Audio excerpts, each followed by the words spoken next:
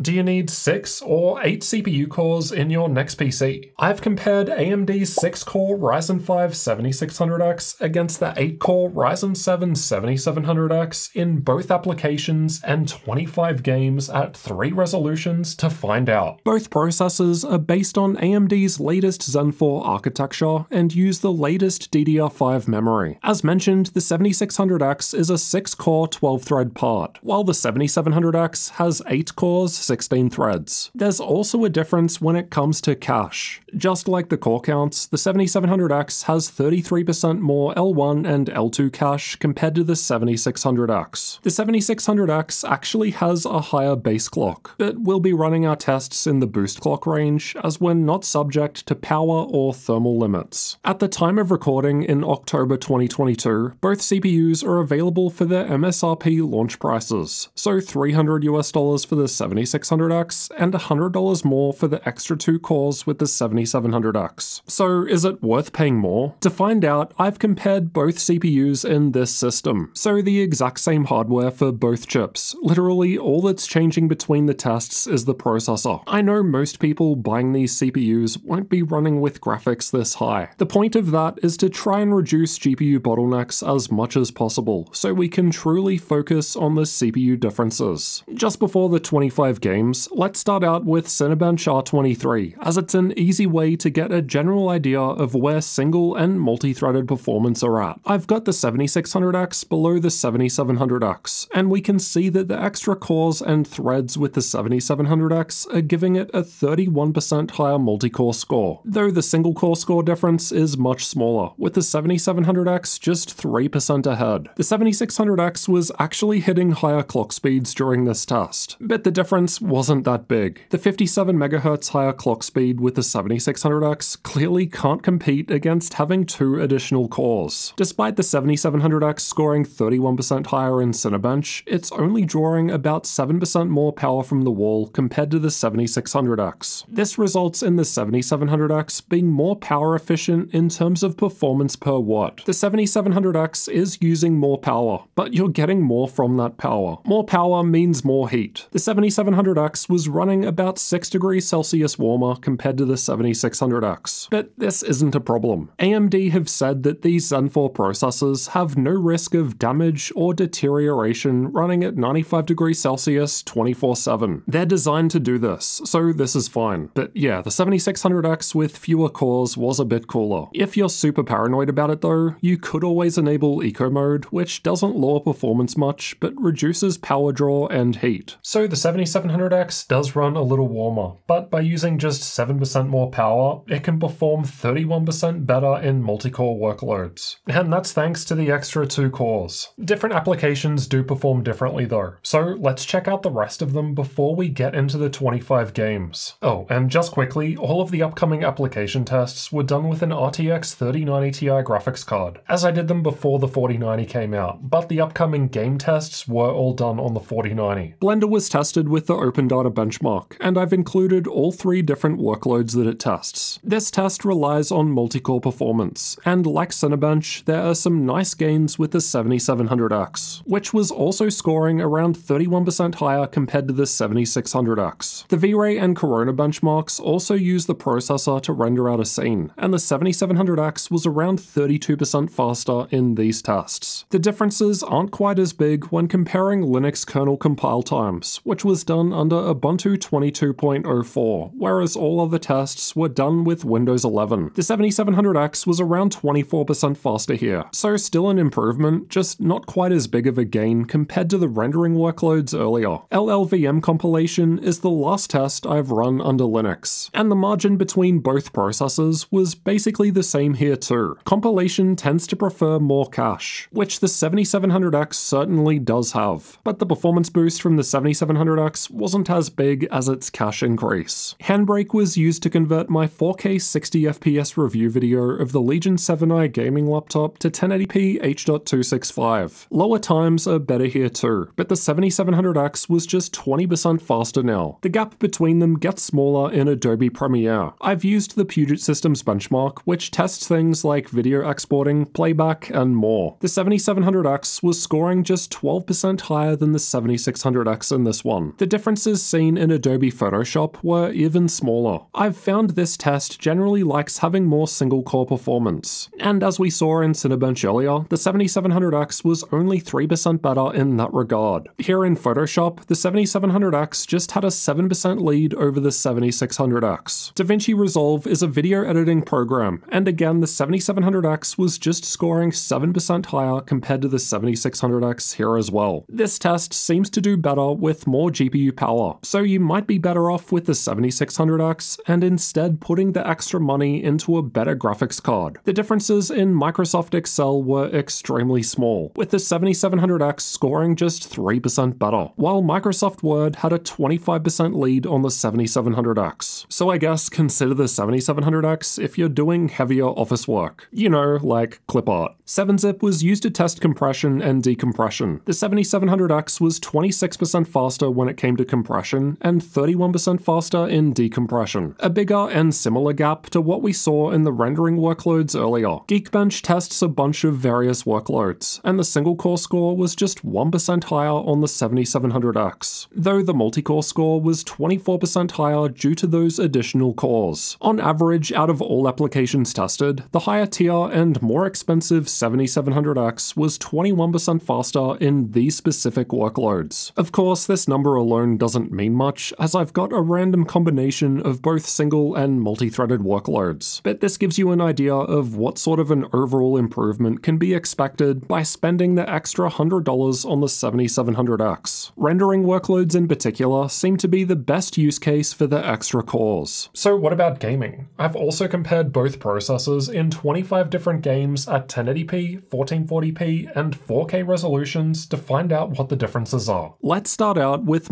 Marvel's Spider-Man Remastered. I've got the 1080p results down the bottom, 1440p in the middle, and 4K up the top, with the 7600X beneath the 7700X just like before. This is more of a CPU heavy game, and there's not really much of an FPS difference between the different resolutions. The 7700X was around 9% faster at 1080p and 1440p, and then 6% faster at 4K. Halo Infinite was performing the same on either CPU at 4K, as most games end up so GPU bound at this point that processor selection really doesn't matter. The 7700X was still able to offer a 7% boost to average FPS at 1440p and 6% at 1080p, at least with the RTX 4090. I've tested the Riftbreaker with the CPU benchmark option, so it's probably no surprise that this had the biggest improvement in favor of the 7700X out of all 25 games tested, coming out around 9 to 10% faster compared to the 7600X. Watch Dogs Legion also had above average gains, with the 7700X reaching an 8% higher average FPS at 1080p, though at 150 FPS on very high settings, it's not as if the 7600X is unusable or anything. Not to mention, in games like this, we could further boost FPS with features like DLSS. Call of Duty Warzone had basically no practical differences between both CPUs. The differences are within the margin of error range and essentially the same. The fact is, this is how most of the other games tested behaved. So rather than spend time talking about the other 20 games tested, I'll just briefly flick through the results. But of course, feel free to pause the video if you want a closer look at any specific game. For the most part though, the general trend is that we're only seeing very small performance boosts with the Ryzen 7 7700X compared to the Ryzen 5 7600X. And this is simply because most titles aren't seeing a benefit from the additional cores or threads on offer. On average, over all 25 games tested, at 1080p, the higher tier Ryzen 7 7700X was performing just 3% faster compared to the Ryzen 5 7600X. We can see that results vary by game, from basically no difference to up to a 9 to 10% improvement in CPU heavier titles like Marvel's Spider-Man Remastered and the Riftbreaker. Stepping up to the higher 1440p resolution, and just looking at a 2% average lead with the 7700X in our 25 game selection now. Again, CPU heavier games had more of a boost, but on average, higher resolutions are more GPU bound, so CPU selection starts to matter less. This is further demonstrated at 4K, where the 7700X was now just 1% faster than the 7600X on average, which is basically nothing. Again, some games had more of a boost with the 7700X, even at this higher resolution. But for the most part, if you're gaming at 4K, CPU choice matters much less compared to lower resolutions. Here's what we're looking at when we take the average frame rates from all 25 games tested to try and spot some overall trends. This really shows just how close both processors are. At 4K, the 7700X was less than 2 FPS ahead, and even at 1080p, where CPU difference might matter more, we're only seeing a 3 FPS gap. Considering the 7700X is an extra $100 more expensive compared to the 7600X, it should come as no surprise to see that the 7600X is offering far better value when it comes to gaming at all three resolutions tested. The FPS in most games is quite close, so you might as well just save the money and get the 7600X if gaming is the focus. The extra budget would be better spent on a higher GPU. Both processors basically offer the same value in terms of multi-core performance. The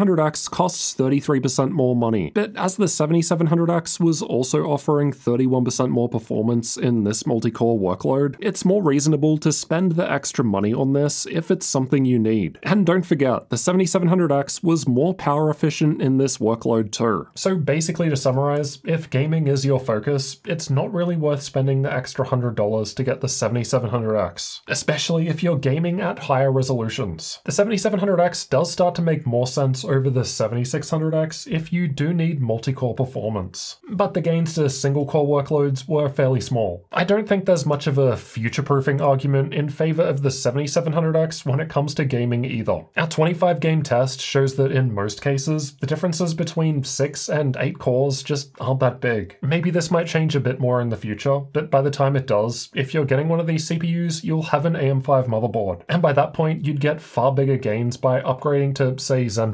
5. So I would only really consider the 7700X if I needed the extra multi-core performance, say for streaming, or perhaps if time is money and you need it for work. Though if that's the case, chances are something else like a 7900X or 7950X will be a better option, and I will be comparing those very soon, so make sure you're subscribed. For now, you can see how both of these CPUs we've tested in this video compare against their older versions in these videos next, which will definitely show you that the gains in gaming come from newer generations rather than adding on more cores.